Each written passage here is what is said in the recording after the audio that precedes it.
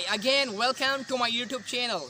Today, let's learn merits and demerits of social media. Let me tell you merits and demerits of social media. First, let me tell you merits. Then I will tell you demerits. Merit number one, we can do online shopping and we can fetch a lot of things online, whatever we want, to like on OLX. Many people love to do shopping online they stay at their home and they fetch a lot of things online. Any kind of circumstances you can you can fetch online anything and i am giving you an example. There is bill gates. He is the richest man in all over the world because of online shopping and online business Point number two, if you really want to increase your spoken skills, what will you have to do that? There are a lot of videos on social media.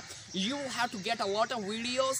If you really want to increase your spoken skills, your your pronunciation, your accent, your talent, your talking, your body language, your way of talking, your confidence, there are any any type of videos you can find on social media.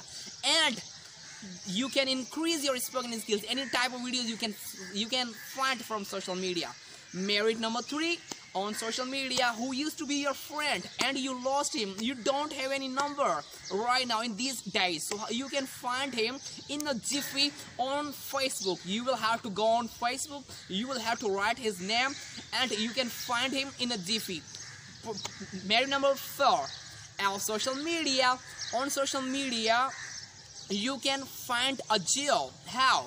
Like there are a lot of jobs. Like Careem you can find a lot of jobs on social media. If you need job go on OLX there are many softwares.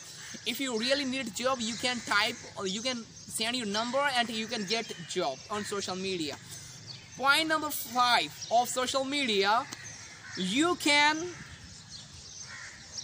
fetch like Careem. If you want to go somewhere else, you need Careem.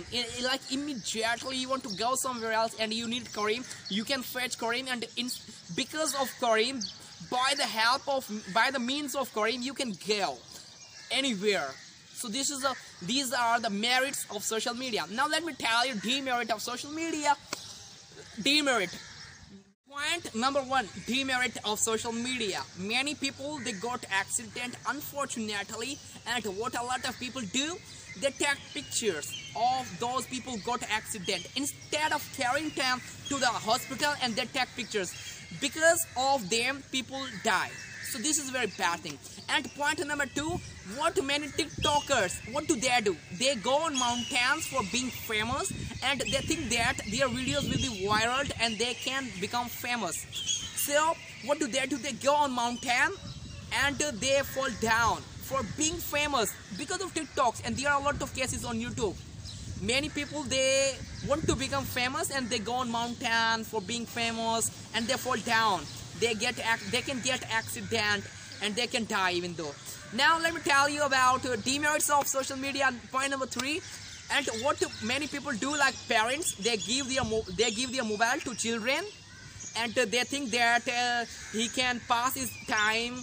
And uh, and they think they think that this is this is good way to make them happy. Though this is very bad thing. How? Let me tell you today many people what do they do they give their mobile to the children. Those are four years old. Those are five years old. What do they do? They are they are using mobile. While using mobile they can feel dizzy and they can feel headache and they can become a victim of your game. They can get afraid. And there are a lot of cases on youtube. Many children they died. Many children they died because of social media. So kindly don't give mobile to children. They can become victim of your social media now point number four on social media what do many people do? They keep on talking to unknown people. They don't know who are they and uh, they keep on talking to them like uh, they keep on talking each other midnight oil.